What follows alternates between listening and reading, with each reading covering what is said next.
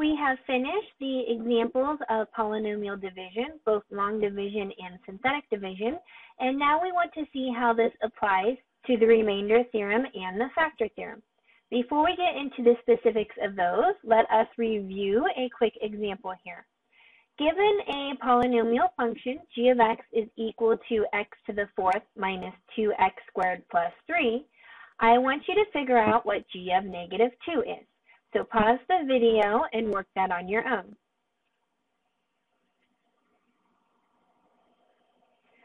Okay, so that gives me negative 2 to the fourth minus 2 times a negative 2 squared plus 3. Negative 2 to the fourth gives me a positive 16. Negative 2 squared gives me 4 times a negative 2 gives me negative 8. And so 16 minus 8 gives me 8. 8 plus 3 gives me 11.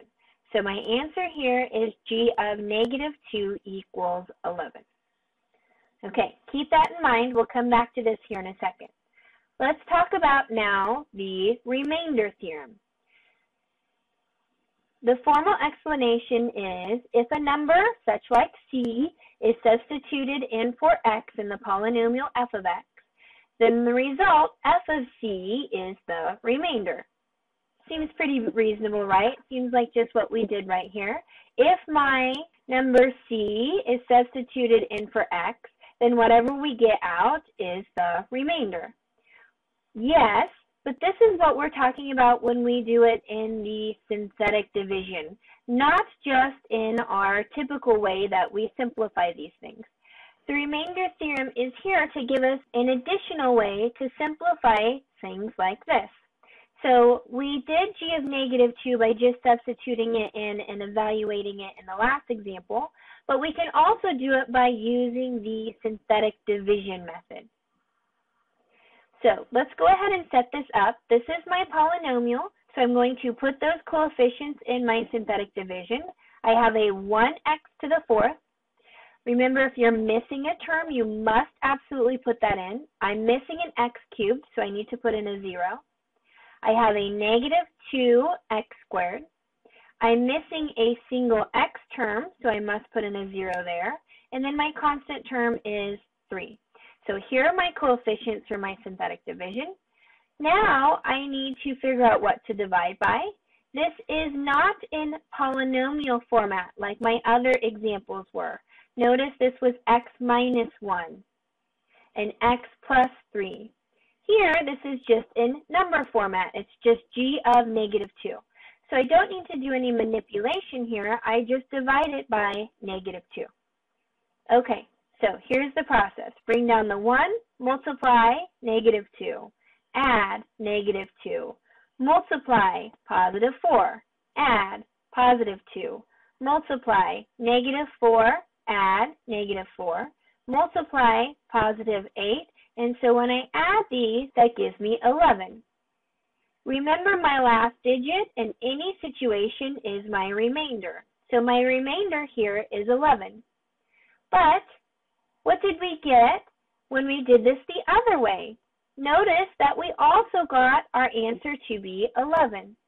So that's what the remainder theorem says. It says you can do this by substituting in negative 2 and simplifying it that way, or you can do it by using synthetic division or even long division if you prefer, and whatever value that you get out, that's going to be the same thing as computing g of negative 2.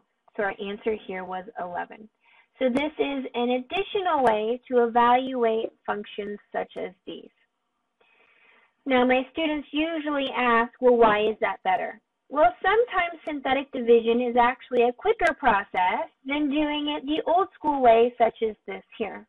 So it just gives you an alternative way, sometimes easier, maybe sometimes more difficult than the original way. Okay, now that we know how the remainder theorem works, let's see how to utilize it. So we're given this function h of x here, x cubed plus 2x squared plus x plus 2. We want to use the remainder theorem, meaning you're going to be forced to use synthetic division to determine if the given number c in these examples are a zero of the polynomial. So we want to see what the remainder is. If the remainder is zero, that means the number that we plugged in is a zero of our polynomial. Or it means that it is an x-intercept on our graph, if that's something that's important to us. So we get to use synthetic division to see whether these numbers are zeros or are x-intercepts. Let me do the first example for you, and then let's see if you can do example two and example three on your own.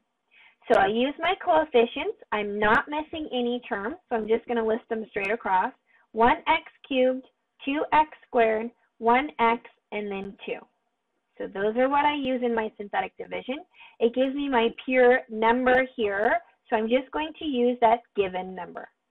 Okay, now my synthetic division. Bring down the 1, multiply gives me 5, add gives me 7, multiply gives me 35, add gives me 36, multiply gives me 180, and add gives me 182.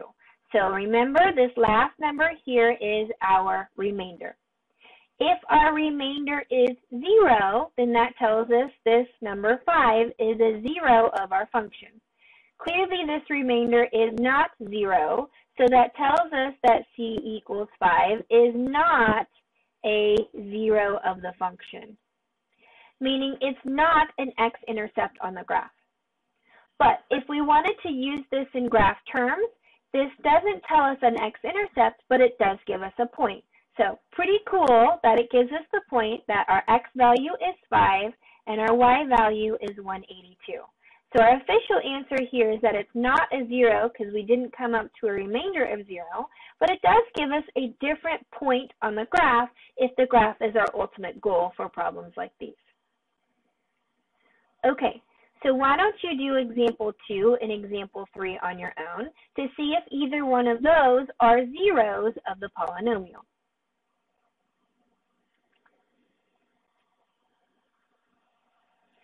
So I'm guessing that when you did it in example 2, you didn't have any problems. You just use your coefficients, 1, 2, 1, 2, the same as in example 1, and you divided it by negative 2. Bring down the 1, multiply gives me negative 2, add gives me 0, multiply gives me negative 2, add gives me negative 1, multiply gives me negative 2, and so when I add, that gives me a remainder of 0. So that tells me here that c equal negative 2 is a 0 of the function. So that means if I were to substitute negative 2 into our function, if I were to figure out what h of negative 2 is, that would give me 0. And also that would tell me that I have an x-intercept at 0, the ordered pair negative 2, 0. So all of this put together tells me quite a bit of important information. So example two probably didn't cause you any problems. Pretty cool to see all those parts working together. But let's talk about example three then. I'm guessing you probably had an issue with example three. When we do this, we're going to set it up the same way. Coefficients 1, 2, 1, 2. And we're going to divide it by the number we see, which is i. Now, it may seem impossible to do to divide it by an imaginary number, but all you need to do is keep the real numbers consistent with the real numbers and the imaginary numbers consistent with the imaginary numbers. Just keep them separated. Okay, so following our process, bring down my first digit of 1, multiply. 1 times i gives me i. So I need to add. Now to add 2 plus i, they are not like terms. One's real, one's imaginary. So I just have to write down what I have, a 2 plus i. I'm going to put that in parentheses just so you can see that those are stuck together. Okay, now I need to multiply i times 2 plus i. If you need to do this somewhere else for scratch work, I encourage you to do so. Let me do it up here. Let me distribute my i through. When I take i times 2, that gives me 2i. When I take i times i, that gives me i squared. But remember, i squared transforms back into a real number. i squared is the same thing as negative 1. So this gives me 2i plus a negative 1. So let me go ahead and put that up here, but let me just rearrange the order because we're used to seeing it in the other order. The real number first, the imaginary number second. So negative 1 plus 2i. Okay, now when I have to add 1 and negative 1 plus 2i, I only add my like terms. So my 1 plus my negative 1 cancel out, and so that just leaves me with 2i.